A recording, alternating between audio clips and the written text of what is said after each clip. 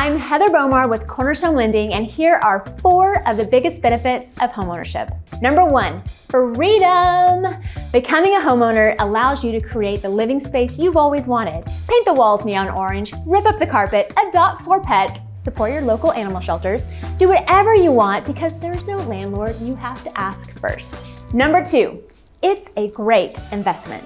Every time you pay your monthly mortgage, you're investing in your overall wealth. Instead of paying rent that goes into your landlord's pocket, your mortgage goes towards your financial future. Equity, equity, equity.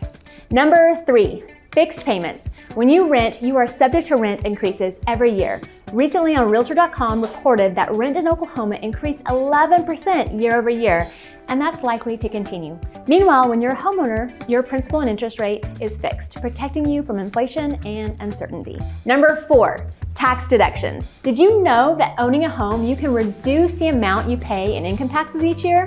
It's true. When you itemize your deductions, you can deduct both mortgage interest and property tax payments from your federal income taxes.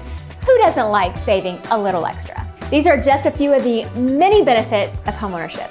If you're ready to tap into these benefits, let's chat. I would love to help you start the process.